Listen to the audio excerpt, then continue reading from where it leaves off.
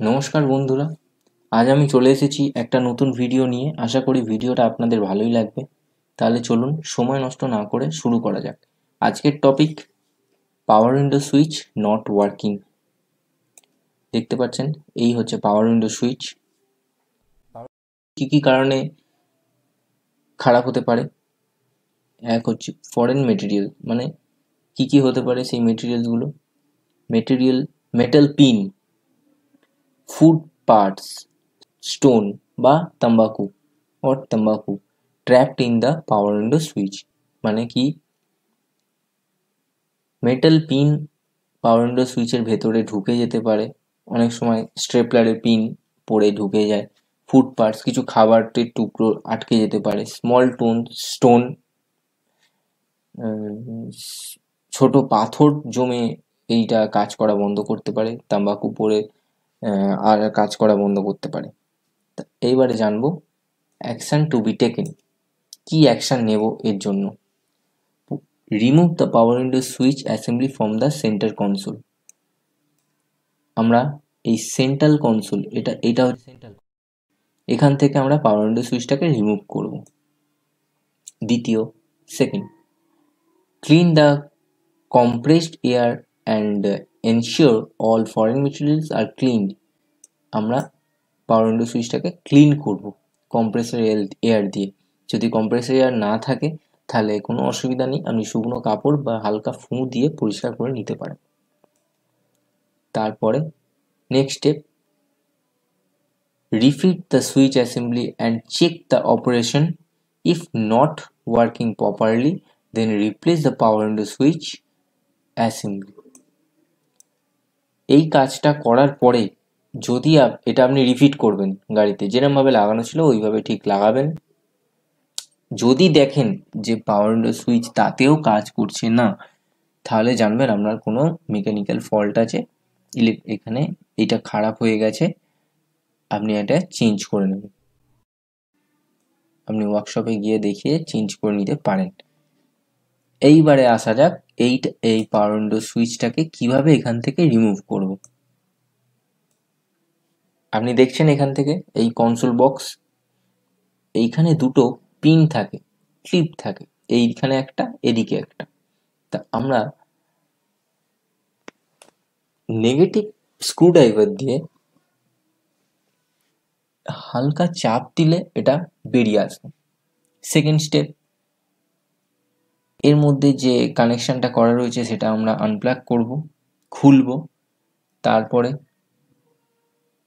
তিনটে screw drive screw আছে এখানে মাইনাস প্লাস স্ক্রু থাকবে এখানে ছোট ছোট, সেটাকে আমরা খুলব, খোলার পরে উপরের কভারটাকে বের করে নেব, বের করে নিলে দেখবেন যে এই সুইচটা আলাদা হয়ে যাবে।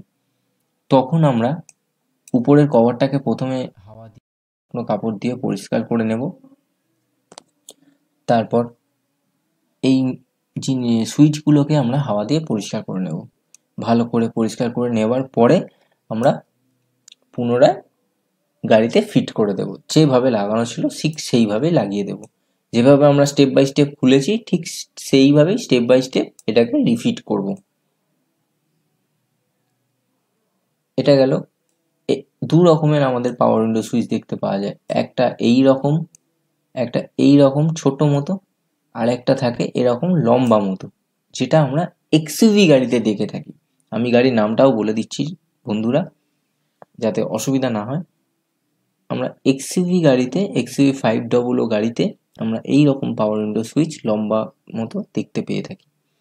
এই সুইচের খোলার পদ্ধতিটাও সেম আছে, তবে এর মধ্যে ক্লিপটা একটু বেশি থাকে, শৌখিনতা বেশি, তাই জন্য একটু সাবধানে খুলতে হবে। থেকে খুলে নেবার পরে আমরা দেখব এইখানে একটা, দুটো, তিনটে, ওদিকে তিনটে টোটাল ছখানা ক্লিপ মতো থাকবে। হালকা হালকা করে মাইনাস স্ক্রুড্রাইভার দিয়ে চাপ দিলে জিনিসটা বেরিয়ে আসবে। ঠিক এইরকমভাবে বেরিয়ে আসবে।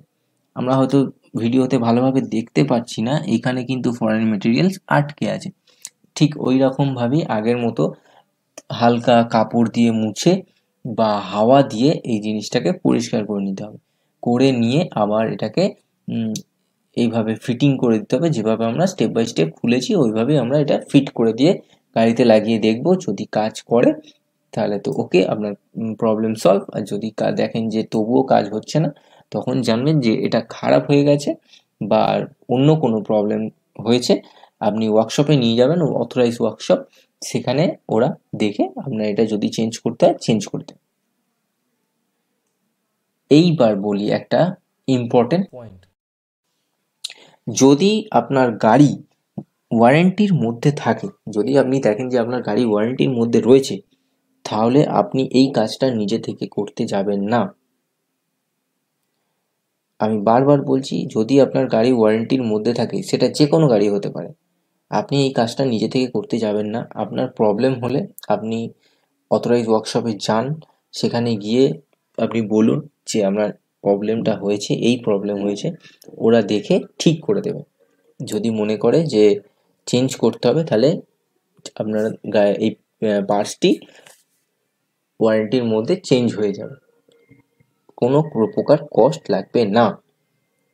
এবার বলি, আমি এই কথাটা কেন বললাম? কেন বললাম জেনে রাখা আপনাদের দরকার, উচিত?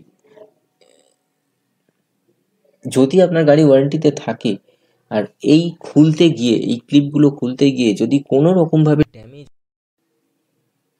তাহলে কোম্পানি কোনো রকমভাবেই আপনাকে এই পার্টসটি ফ্রিতে বা ওয়ারেন্টিতে দিতে পারবে না।